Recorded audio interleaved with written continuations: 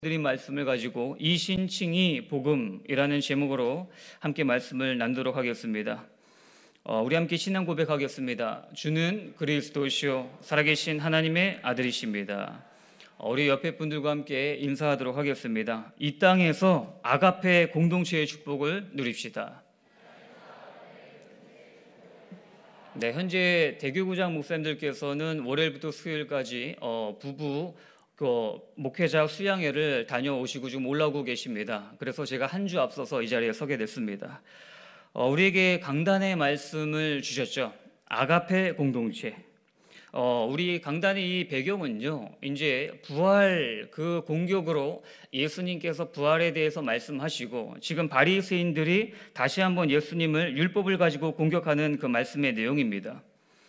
근데 그 과정에서도 하나님의 자녀들, 이 하나님의 자녀들이 이 땅에서 어떻게 천국 백성으로 살아갈 수 있는지 그 교훈적인 교훈을 우리에게 주고 계시죠. 그게 제목입니다. 강단 말씀입니다. 아가페 공동체의 삶을 살아라. 우리에게 말씀하고 계십니다. 사랑에는 여러 가지가 있죠. 남녀 간의 연애와 결혼을 하는 에로스 사랑이 있습니다. 또 친구들끼리 깊은 우정을 나누는 필레오 사랑이 있습니다. 그 다음에 부모님이 자식을 사랑하는 그 엄청난 희생적인 사랑, 스트로크의 사랑이 있습니다. 그런데 이 모든 사랑은요, 한순간에 뒤바뀌어 버려요. 이해 조건에 따라서 한순간에 뒤가 바뀌어 버리는 게 인간적인 사랑입니다. 그런데 아가페 사랑이 무엇입니까? 영원토록 변하지 않는 절대적인 사랑이죠. 바로 하나님의 사랑입니다. 그 사랑의 증거가 무엇입니까? 하나님께서 이 땅에 인간의 몸을 입고 육신을 입고 인간이 되셨습니다. 성육신이죠.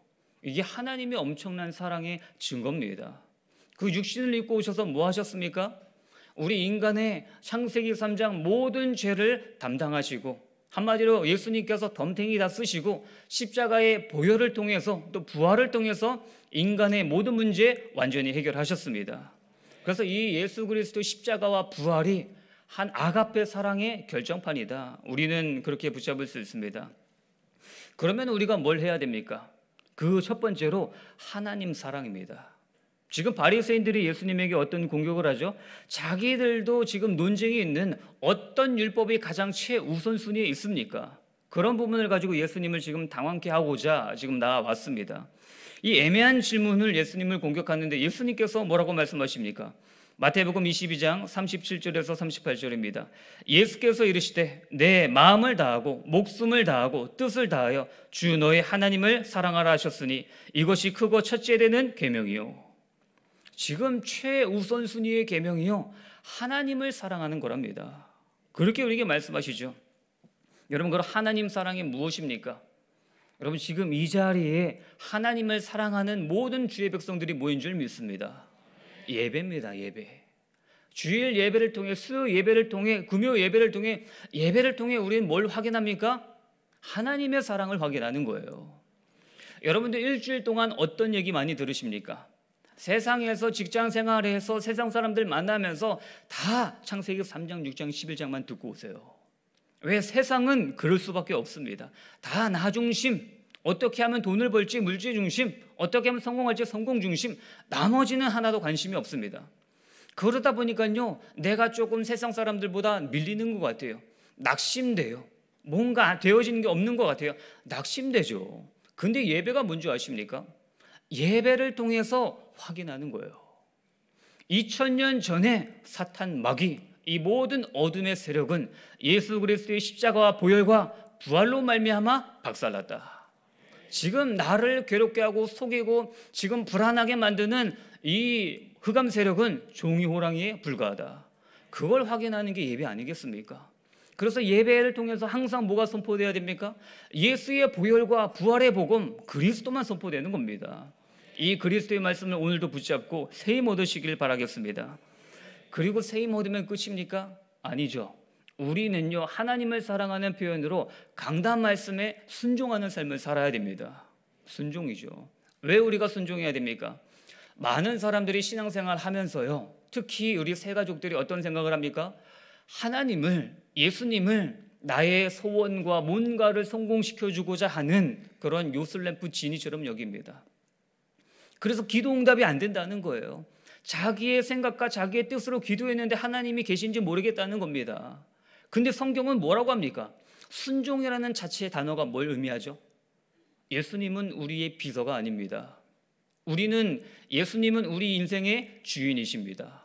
그래서 우리는 순종하는 거예요. 강단 말씀 붙잡고 하나님 제가 한 주 동안 어떻게 살아가야 되겠습니까? 그 말씀 붙잡고 은혜 받고 끝나는 것이 아니라 내가 순종할 부분을 찾고 확인하고 그 다음에 결단하시는 우리 성도님들 되시길 바라겠습니다. 그리고요, 하나님이 함께 하심을 누리는 게 예배의 힘이고 하나님을 사랑하는 능력입니다. 지금 이 시간 우리와 함께 하십니다. 예배할 때 주의 성령께서 우리 가운데 강력하게 임재하심을 믿습니다. 하나님의 사랑 우리가 깨달았어요. 얼마나 감사합니까? 은혜 받은 하나님의 자녀들이 지금 이 자리에 모여서 예배합니다. 포럼합니다. 기도합니다. 얼마나 감사하고 은혜가 충만합니까? 근데 하나님이 또 우리에게 말씀하시는 게 있죠. 뭡니까? 이웃 사랑입니다. 이웃 사랑. 너네들끼리 주의 종들끼리 믿는 사람들끼리만 모여서 그냥 좋아라 하지 말고 불신 영혼들에게 믿음이 연약한 자들에게 안 믿는 친인척들 형제들에게 이웃 사랑을 실천하라는 게 지금 예수님의 계명 아니겠습니까? 그러면요, 우리는 살면서 어떻게 살아야 되는지 이 굉장히 애매모호해요. 여러분, 굉장히 성경은 정확한 기준을 이야기하고 있습니다. 삶이죠. 우리는 어떻게 살아야죠? 예수 믿으면서 막 살아도 되겠습니까? 나는 참 자유 얻었다 막 살아도 되겠습니까? 아니죠. 우리 인생의 삶의 기준은요, 영원 구원입니다. 내가 이 행동을 해가지고 불신자가 시험 들 것 같아요? 안 해야 돼요.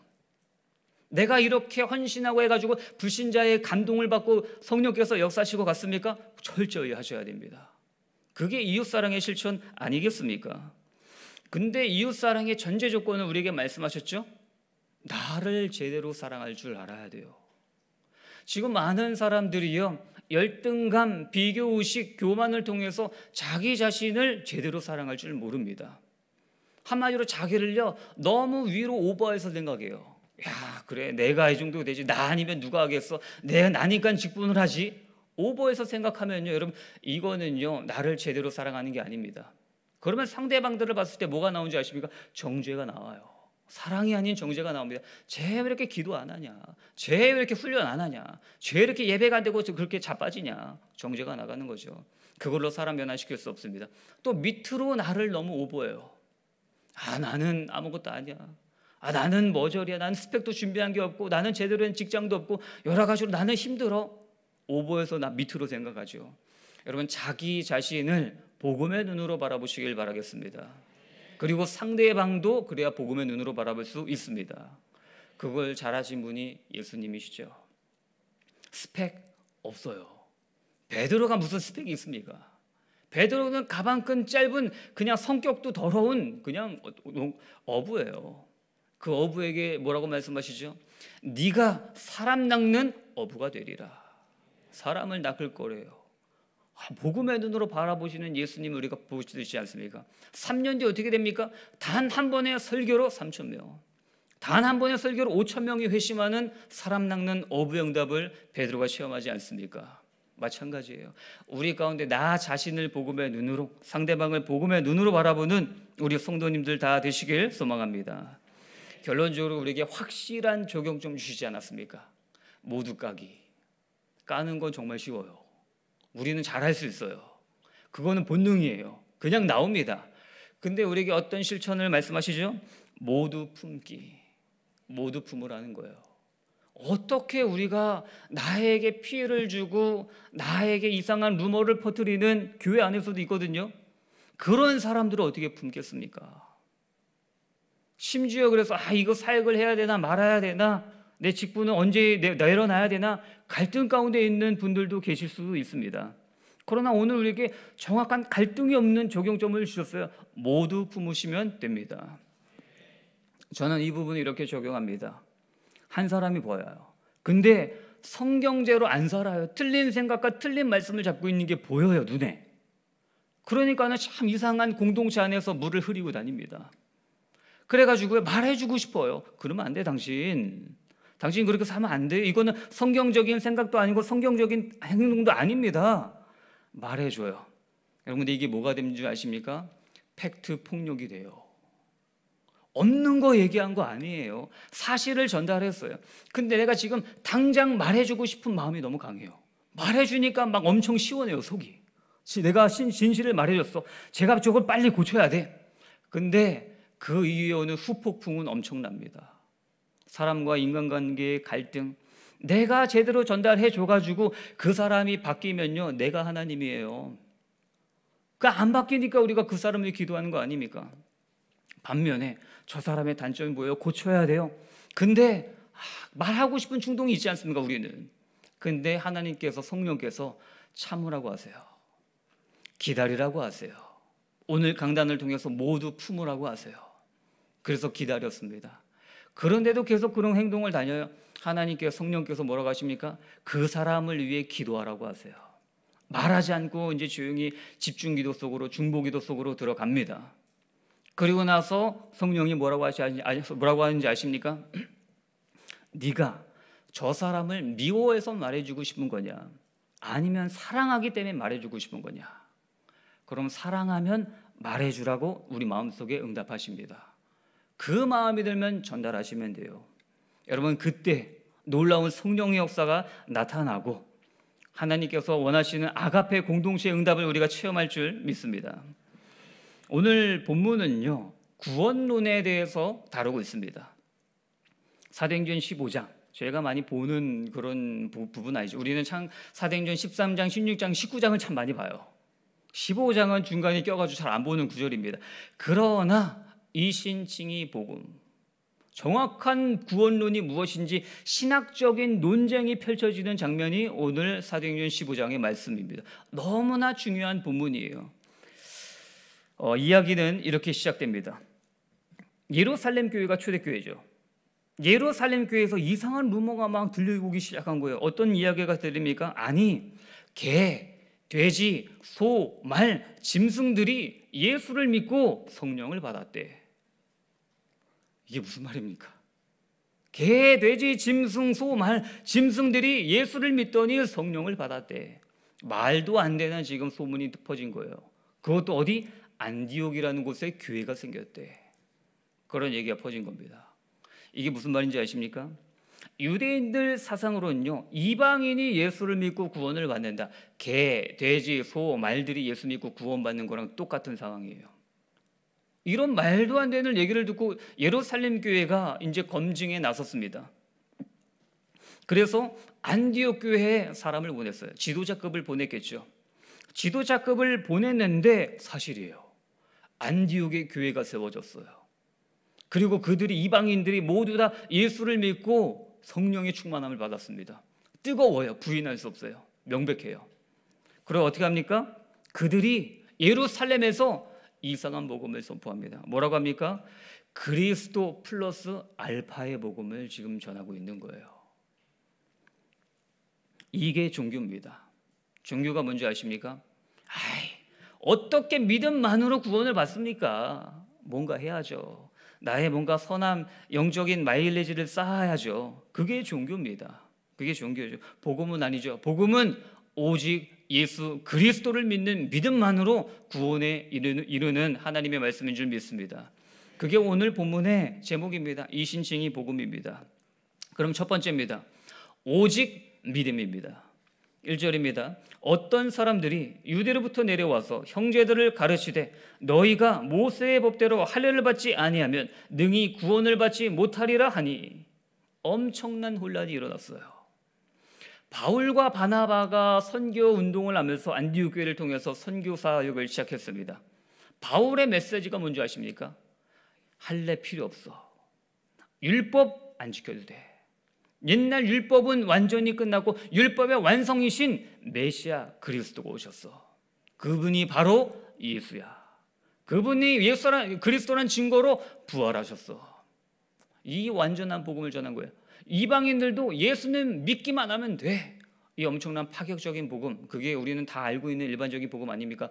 이때 당시는 파격적인 복음이에요. 근데 본부 교회라고 하는 예루살렘 교회에서 뭐라고 하죠?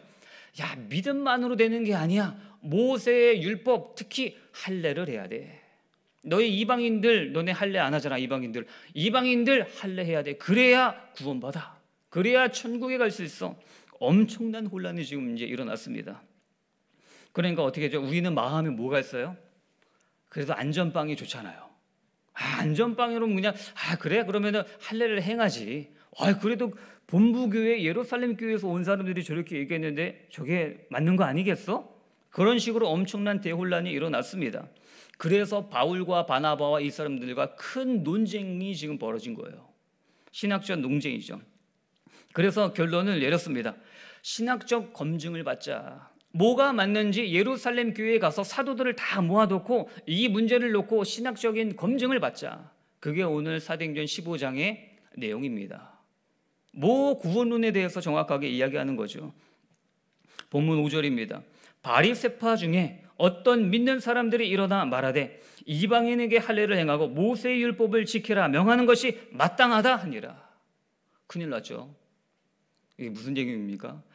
안디옥 교회 와가지고 지금 논쟁이 붙은 거예요. 야 무슨 할례를 행해야 구원이 완성이 된다. 율법을 지켜야 구원이 완성이 된다. 예루살렘 교회에서 이제 막, 막 회의를 했습니다. 사도들이 모여서. 근데 바리세파 출신의 크리스천. 옛날에 바리새인이었어요. 그러다 하나님의 은혜와 감동으로 말미암아 이제 예수를 믿고 어 이제 기독교가 됐습니다. 그 사람들이 뭐라고 하는지 아십니까? 할례를 행해야 돼. 예루살렘 교회에 더 큰 불이 번진 거예요. 불을 끌어왔다가 불을 퍼뜨려 버렸어요. 예루살렘 교회로. 이 엄청난 논쟁이 벌어지고 있는데 최고 지도자격 베드로가 이제 말을 꺼냅니다. 사도행전 15장 7절에서 9절입니다.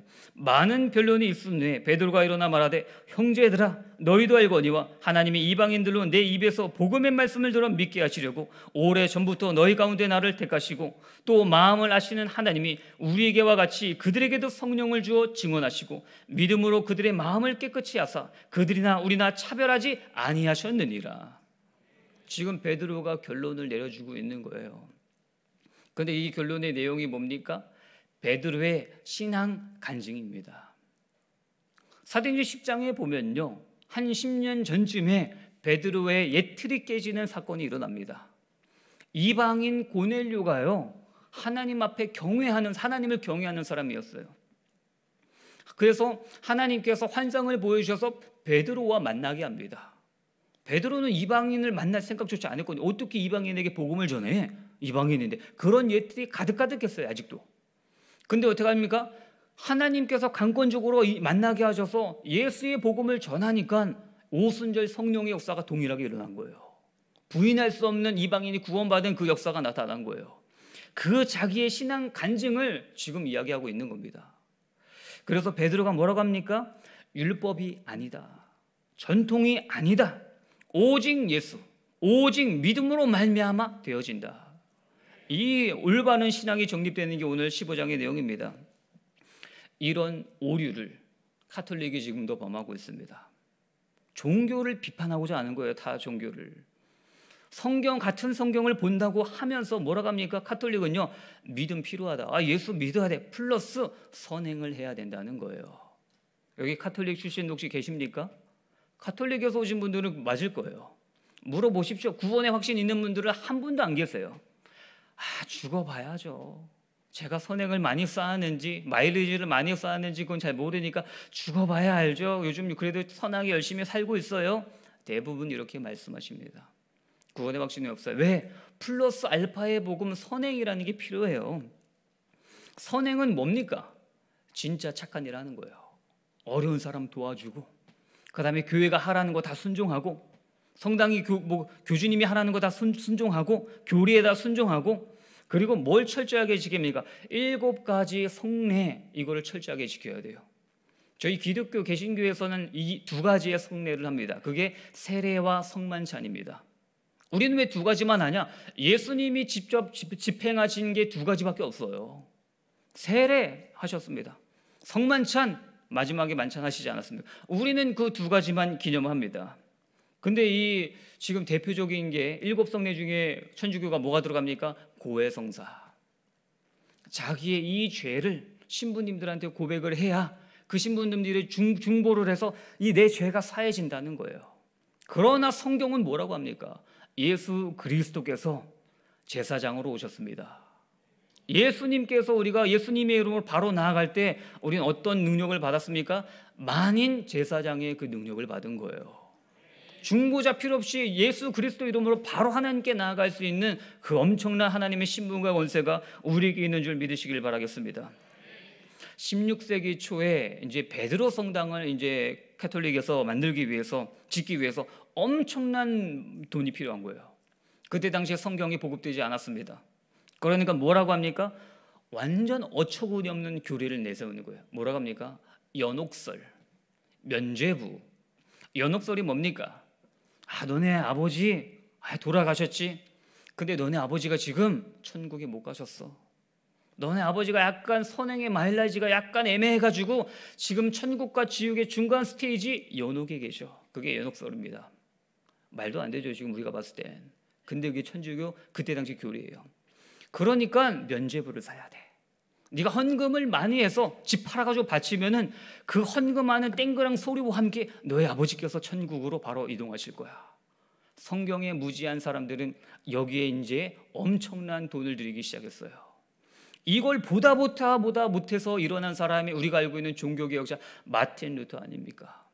마틴 루터가 성경을 보니까 이건 아니거든요. 이신칭의가 복음이거든요. 오직 의인은 믿음으로 말미암아 살리라. 믿음이거든요. 그래서 이신칭의 복음을 마틴 루터가 이제 종교개혁을 시작을 하죠. 이신칭의 의롭다 믿음으로 의롭게 된다는 거예요. 그렇게 의롭다 칭해 주신다. 내가 보겠다. 하나님이 그렇게 우리에게 말씀하시는 거죠. 이 의롭다라는 단어는요. 법적인 용어입니다. 법적인 용어. 하나님은 우리의 심판관이십니다. 사탄은 검사로 활동합니다. 여기 검사로 계신 분들은 죄송합니다. 예를 들어서 그렇다는 거예요. 그리고 이 사탄이 우리가 지은 죄의 모든 그 블랙박스 영상을 담아서 이제 하나님 앞에 증거 제시하라고 왔습니다. 죄를 짓는 결정적인 순간이죠. 그때 이제 예수 하나님 앞에 쫙 보여드리는데 결정적인 영상이 삭제돼 있어요. 다 삭제돼 있어요. 결정적인 순간만. 그래서 당황스럽습니다. 그때 저 멀리 계신 변호사석에서 예수님이 씩 웃고 계십니다. 이게 뭡니까? 예수의 보혈로 다 덮어버리신 거예요. 그게 이 신칭이 복음이라는 겁니다. 그래서 바울이 뭐라고 부르짖습니까? 로마서 1장 17절입니다. 복음에는 하나님의 의가 나타나서 믿음으로 믿음에 이르게 하나니 기록된 바 오직 의인은 믿음으로 말미암아 살리람과 같으니라.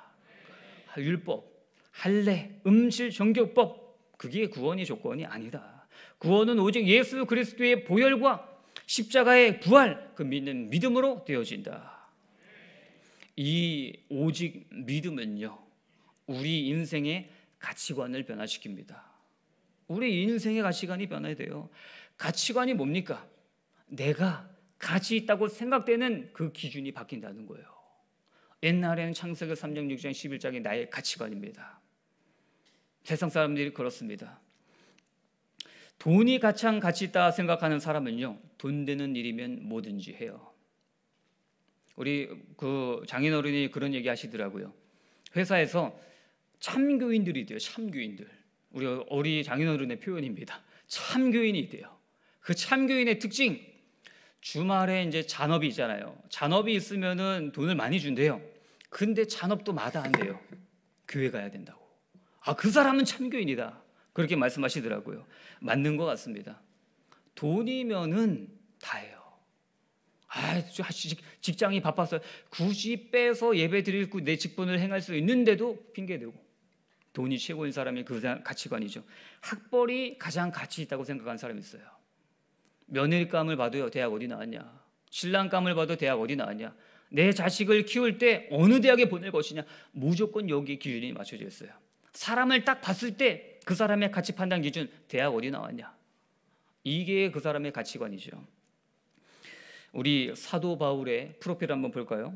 빌립보서 3장 5절 6절입니다. 나는 8일 만에 할례를 받고 이스라엘 족속이요 베냐민 지파요 히브리인 중에 히브리인이요 율법으로는 바리새인이요 열심으로는 교회를 박해하고 율법의 의로는 흠이 없는 자라. 바리 그 지금 바울의 프로필을 우리가 성경을 통해 보죠. 이스라엘 족속이다. 선택받은 난 이스라엘 족속이다. 자부심이 엄청나요. 나는 이방인 아니야. 나는 선택받은 이스라엘 자손이다. 그리고 뭐라고 합니까? 히브리 인 중 히브리인이다.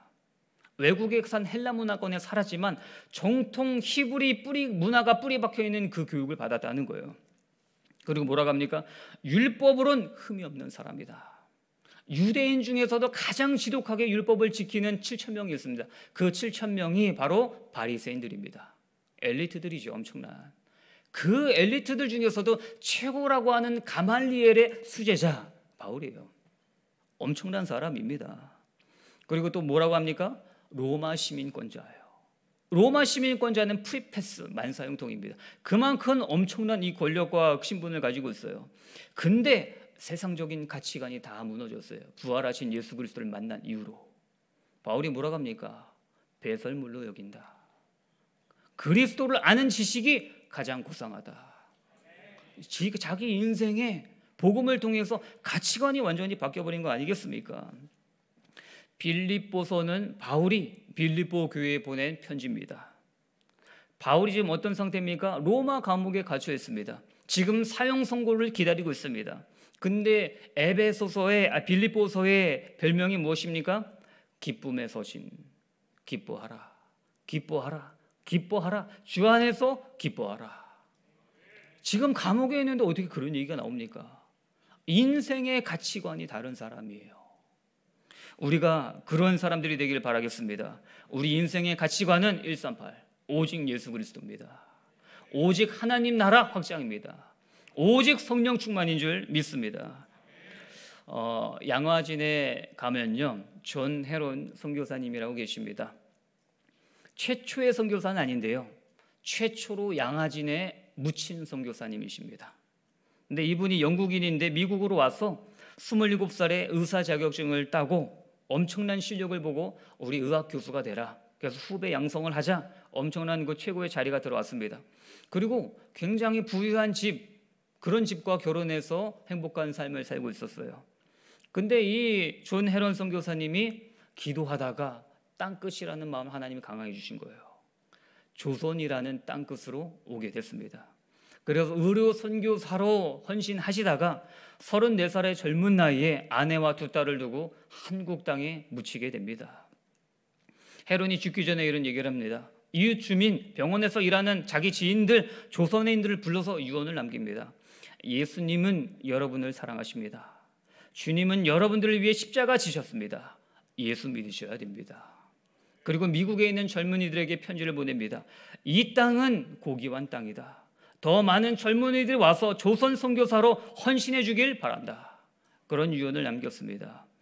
미국에서 의학 교수로 성공의 자리가 지금 열려 있는데 왜 땅끝이라는 이 조선의 나라에서 그렇게 힘든 삶을 살았을까요? 하나입니다.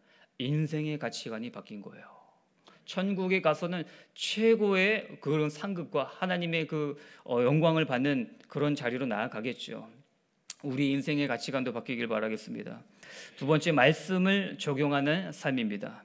사도행전 15장 13절에서 14절, 입니다 말을 마침에 야고보가 대답하여 이르되 형제들아 내 말을 들으라 하나님이 처음으로 이방인 중에서 자기 이름을 위할 백성을 취하시려고 그들을 돌보신 것을 시몬이 말하였으니 지금 베드로가 이제 얘기를 해가지고 결론이 좀 나가는 상태였죠. 그리고 최고 지도자격인 야고보가 또 말을 붙입니다. 야고보가 뭐라고 합니까? 베드로 말 맞다. 지금 시몬이라고 표현하죠. 14절에는. 한마디로 시몬 베드로의 말이 다 맞다. 이방인이나 우리나 차별이 없다. 근데 지금 뭐라고 합니까? 사도행전 15장 17절입니다. 이는 그 남은 사람들과 내 이름으로 일컬음을 받는 모든 이방인들로 주를 찾게 하려 함이라 하셨으니 구약에 기록된 성경을 인용해서 한마디로 말씀을 통해서 신학적인 결론을 내립니다. 지금 베드로는요 어떻게 결론을 냈죠? 자기의 간증을 통해서, 자기의 경험을 통해서, 자기의 체험을 통해서 결론을 내려요. 근데 이걸로는 부족해요. 진짜 권위 있는 결론이 어디서 나옵니까? 말씀이에요. 말씀에서 뭐라고 하냐? 말씀을 통해서 이방인들이 주를 찾는다는 거예요. 구원받을 수 있다는 겁니다. 여러분 여기서 우리가 뭘 볼 수 있습니까? 내 생각은 그렇게 중요하지 않아요. 나의 경험은 내 개인의 신앙 성장에는 영향을 주지만 절대적인 거 아닙니다. 뭐가 절대적입니까? 하나님의 말씀입니다. 강단의 말씀만 따라가는 우리 예언의 성도님들 다 되시길 바라겠습니다. 그리고 야고 보가 말을 더합니다. 사도행전 15장 20절입니다. 다만 우상에 더러운 것과 음행과 목매어 죽인 것과 피를 멀리하라고 편지하는 것이 옳으니 다만이라는 표현을 써서 헷갈리게 하죠 지금 우리를 다만 뭡니까 우상에 더러운 것이 뭐죠? 우상에 더러운 것은 고기를 얘기해요. 우리 얼마나 고기 좋아합니까? 저도 좋아합니다. 근데 이때 당시에 고기를 먹기 얼마나 귀하겠습니까? 고기가 고기를 먹은 모든 고기들은요 우상의 제물에 한번 바쳐졌다가 유통되는 게 시장에서 판매되고 있습니다. 그래서 고기를 함부로 못 먹는 거예요. 여러분 여기서 우리가 뭘 알 수 있습니까? 아 예수 그리스도로 복음으로 말미암아 우리가 구원 받는데 어떻게 삶에 적용할 것인가 적용점을 지금 야고보가 우리에게 말하고 있는 거예요. 예수 믿었냐 그리스도인이냐 그러면 어떻게 살 것인가 말씀대로 어떻게 살 것인가 그 부분을 지금 야고보가 우리에게 이야기하고 있습니다. 어, 바울을 서신에도 많이 등장합니다. 고기를 먹어야 되냐 말아야 되냐 그걸 가지고 막 교인들이 싸우는 거예요. 아 우상에게 바쳐진 건 물이네 이거 먹어야 되냐? 찝찝하다. 찝찝한 사람은 먹지 말아라. 아난 상관없다. 믿음으로 자유롭다. 믿음 믿는 사람은 먹어라. 쉽죠 결론이 참. 바울이 이런 결론을 내려줬어요. 참 쉽게. 한마디로 찝찝하면 먹지 마. 믿음 있어? 예수 그리스도 다 끝났어? 그럼 먹어. 근데 여러분 초점이 어디인지 아십니까? 먹냐 안 먹냐 내가 어떻게 행동하냐 초점이 내가 아니에요. 초점은 나보다 믿음이 연약한 사람들입니다. 예수를 모르는 불신자들에게 초점을 맞춰야 된다는 거예요. 왜? 영혼 구원을 위해서. 이 부분을 지금 야고보가 이야기하고 성경 바울을 바울도 우리에게 이야기하고 있습니다. 여러분 그 어, 굿하면요 제사 그 굿 음식 고사 음식 같은 거 나오잖아요. 막 돼지머리 수육이나 그 다음에 고사 떡 같은 거 나오잖아요. 근데 어떤 분이 저한테 고사 떡을 딱 가져다 준다고 예를 듭시다. 먹어보지 않았습니다 아직. 예를 듭시다. 그걸요 제가 딱 와가지고 야 이게 우상에게 바쳐진 귀신에게 드려진 그 고사 떡이구나. 근데 참 풍성하네. 그걸요 우리 랩런트들과 제가 나눠 먹었어 먹었다고 칩시다. 근데 이걸 누가 보고요 시험이 들었어요. 아니 대학국 목사라는 사람이 귀신에게 드렸던 이 더러운 음식을 그것도 랩런트들이랑 같이 뭐 나눠 먹어? 나 이 교회 못 다니겠네. 여러분 그러면 안 먹어야 된다는 거예요. 먹어라 안 먹어라 문제가 아니에요. 안 먹어야 된다는 거예요. 여러분 술 마셔야 됩니까? 안 마셔야 됩니까? 담배 펴야 됩니까? 안 펴야 됩니까? 아, 참 난감한 지금 문제로 다가오죠. 우리 대학 청년들 말씀해 보십시오. 술 많이 먹으면 지옥 갑니까? 안 갑니까? 알겠습니다. 안 가요. 다 아시잖아요. 구원과 상관없습니다. 그런데 제가 말씀드린 포인트가 뭐죠? 죄를 예를 들어 보겠습니다. 제가 오늘 새벽 예배 쓰고 오늘 또 이렇게 수예배 쓰고 오늘 성령 충만한 날입니다. 그래가지고 아 그래서 가가지고 이제 집에 가가지고요. 아 너무 오늘 피곤하다. 그래서 집 앞에서 제가 맥주 한 캔을 탁 먹었는데 우리 동네 사는 랩런트가 저를 봤어요. 아 우리 목사님 참 성령 충만하시다. 역시 복음이다 복음. 아, 모든 걸 초월하시네. 여러분 그런 랩런트는 없을 겁니다. 제가 만약에 막걸리를 먹었다 소주를 먹었으면 난리 났겠죠. 여러분 이게 뭔지 아십니까? 안 먹으면 된다는 거예요. 불신자가 나 봤을 때 나는 정말 신실한 크리스천을 알고 있어요. 근데 그들보다 막 술 먹고 담배 피고 막 이러면서 굉장히 음란패서 같이 하고 복음의 영, 악한 영향력을 끼치는 삶을 해서는 안 된다는 거예요. 그 부분을 지금 야고보가 우리에게 다뤄주고 있는 겁니다. 삶에 적용을 해라. 초대교회에 무서운 이단이 있습니다. 그걸 그 사상을 영지주의 사상이라 그래요. 이게 무슨 논리냐? 굉장히 매력적인 신앙이에요. 예수님께서 십자가에 모든 문제 해결하셨다. 어, 여기까지는 맞죠? 그러니까 우리는 막 살아도 돼. 야, 술 막 퍼마셔도 돼. 굉장히 음란해도 돼. 영은 선한 것이고 육은 이미 악한 거야. 아, 육은 이미 타락을 했어. 이미 창세기 3장. 그러니까 굉장히 음란해도 되고 타락해도 되고 상관없어. 이미 예수님께서 네 영혼을 살리셨어. 굉장히 매력적이죠? 근데 이게 영지주의 이단 사상이에요. 무서운 초대교회 이단이었죠. 여러분 우리가 그렇게 살아서 되겠습니까? 아 그리스도 하면서 먹으면 됩니까? 참자유 얻었네 그러면 됩니까? 아니에요. 기준이 어디에 있다? 나이가 기준이 아니된 거예요. 여러분 안디교, 안디옥 교회의 특징이 무엇입니까? 그리스도인이라는 별명을 처음으로 받았어요. 불신자들한테. 내가 너희를 보니 꼭 그리스도를 보는 것과 같다. 말이 달라요. 너무나 정직해요. 행실이 달라요. 표정이 달라요. 모든 게 전에 있던 예수를 보는 것 같아요. 그래서 붙여진 별명이 그리스도인입니다. 여러분 우리가 그렇게 살아야 할 줄 믿습니다. 근데 알아요. 근데 잘 안 되는 거 어떻게 합니까? 적용, 삶의 적용 이게 제일 어려운 거예요. 말씀의 은혜까지는 받는데 적용 어려워요. 근데 반대로 말씀의 은혜를 정말 정말 많이 받으시잖아요. 적용이 되어집니다. 여러분 노아에게 하나님이 엄청난 실천을 주시죠. 설계도를 막 엄청나게 그려 주시면서 뭐라 합니까? 방주를 만들어라. 엄청난 미션이에요. 이거 언제 다 합니까? 120년 걸렸는데 짓는데. 근데 그 전에 우리가 주목해야 할 단어가 있습니다. 창세기 6장 8절입니다. 그러나 노아는 여호와께 은혜를 입었더라. 여러분 은혜를 입어야 우리가 적용이 돼요. 은혜를 입어야 우리가 말씀대로 살아갈 수 있습니다. 지금 바울이 청년 디모데 목회 후보성에게 주는 메시지가 디모데전서입니다. 디모데전서 1장 12절입니다. 나를 능하게 하신 그리스도 예수 우리 주께 내가 감사함은 나를 충성되이 여겨 내게 직분을 맡기심이니 지금 상상할 수 없는 엄청난 사역을 했잖아요. 지금 바울이 죽을 뻔한 위기도 얼마나 많이 겪었습니까? 얼마나 많은 고난을 겪었습니까? 그리고 바울이 어떤 사람이죠? 건강한 사람이 아니에요. 육체의 가지가 있었어요. 안질인지 간질인지 모르겠지만 굉장히 고난 중에 있었습니다. 그런데도 내가 끝까지 이 사명 사역을 완수할 수 있었던 비결이 무엇이냐? 은혜라는 거예요. 은혜라는 겁니다. 디모데전서 1장 14절입니다. 우리 주의 은혜가 그리스도 예수 안에 있는 믿음과 사랑과 함께 넘치도록 풍성하여도다. 은혜가 그냥 찔끔이 많은 게 아니라 뭐라고요? 풍성한 은혜를 받았다는 겁니다. 여러분 은혜가 무엇입니까? 자격 없는 자에게 자격을 주신 거예요. 용서받을 수 없는 사람이 용서받은 거예요. 사랑받을 수 없는 존재가 사랑받았습니다.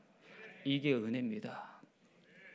그래서요 바울이 디모데에게 뭐라고 합니까? 나는 죄인 중에 괴수다. 나는 최악 중에 최악이다. 그만큼 그리스도를 핍박하고 그 믿는 사람들을 핍박하고 잡아 죽이기까지 하는 담에색까지 끝까지 쫓아간 최악 중에 최악이었다. 그러나 은혜로 용서받았다. 그 은혜의 힘으로 말미암아 이 엄청난 고난 가운데서도 선교사역 땅 끝까지 나아갈 수 있었다. 여러분 우리도 마찬가지 아닙니까? 우리에게 주어진 직분들이 있습니다. 힘듭니다. 내려놓고 싶을 때가 있습니다. 내 시간이 없는 것 같습니다. 그러나 오늘 말씀을 통해서 은혜를 회복하시길 바라겠습니다. 은혜를 통해서 모든 사역을 할 수 있는 그 힘 성령께서 주실 줄 믿습니다. 결론적으로 말씀드립니다. 이 신칭이 복음은 복음의 사람은요 하나님만 의지합니다. 하나님만 의지해요. 우리가 굉장히 문제가 오면요 힘이 빠지죠. 아주 아무것도 할 수 없는 그런 상황에 있죠. 근데 그때 위기 가운데 하나님이 우리에게 뭐라고 말씀하는지 아십니까? 내 입을 크게 열라. 내가 채우리라. 여러분 그렇게 말씀하고 계신 거예요 지금. 문제 왔습니까? 내 입을 크게 열라. 내가 채우리라. 믿음의 입과 기도의 입을 크게 여시기를 바라겠습니다. 시편 121편 1절 2절입니다. 내가 산을 향하여 눈을 들리라. 나의 도움이 어디서 올까? 나의 도움은 천지를 지으신 여호와에게서로다. 찬양도 있지 않습니까? 나의 도움 어디서 올까? 나를 만드신 천지 지으신 여호와께로다. 여러분 우리 하나님의 응답은요 사람을 통해 옵니다. 경제의 축복도 사람을 통해 오고요. 만남의 축복도 사람이고요. 여러 가지 모든 하나님의 축복 사람을 통해 오는 게 하나님의 방법이에요. 그러나 우리가 주목할 포인트가 있죠. 그렇다고 사람을 의지하면 안 돼요. 하나님만 우리의 피난처시고 하나님만 우리의 도움이십니다. 믿음의 조상 아브라함이 그랬습니다. 아브라함에게 엄청난 미션 떠나라. 내가 너에게 지시할 땅으로 가라. 4천 년 전에 CCTV도 없는데 경찰도 없는데 떠나는 건 죽음이에요. 그 더럽고 떨리는 말씀만 하나 붙잡고 왔는데 조카 롯을 데리고 왔습니다. 아들과 같았어요. 친구와 같았어요. 자기의 동역자예요. 믿고 의지할 수 있는 존재예요. 젊은 청년이 하나 있다는 게 얼마나 큰 의지가 됩니까? 근데 하나님이 헤어지게 하세요. 헤어지게 하세요. 왜? 네가 은근히 롯을 의지했다는 거예요. 하나님께서 백세 얻은 아들 이삭을 바치라고 하십니다. 왜 시험하십니까? 네가 아들을 의지하고 아들을 바라봤다는 거예요. 하나님께서 우리에게 원하신 게 있습니다. 하나님만 바라보는 그런 하나님의 자녀들 되시길 바라겠습니다. 롯이 떠나면 누가 옵니까? 창세기 13장 14절입니다.